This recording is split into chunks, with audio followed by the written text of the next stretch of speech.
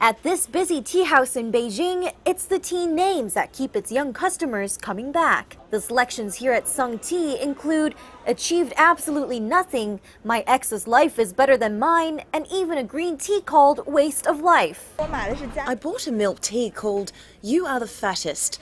I'm on a diet right now, so I thought this was appropriate. But what the cheeky titles reflect is something more serious. An increasing number of young Chinese people are becoming disillusioned with everyday life and embracing a culture called sang, after the Chinese character associated with the word funeral. Reuters' Irene Wang explains. As China's economy slows down, um, young people are facing more pressure of rising housing prices, um, finding uh, good job opportunities, and one child taking care of two parents and even their grandparents.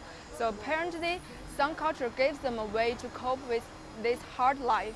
And by reducing the hope for life, they don't have to endure the feeling of the fa failure. For visitors at the cafe, embracing negativity is surprisingly cathartic.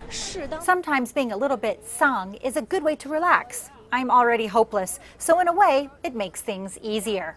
That mentality is becoming increasingly widespread. This video of a local choir has become popular online with lyrics like, I'm so tired, I don't want overtime.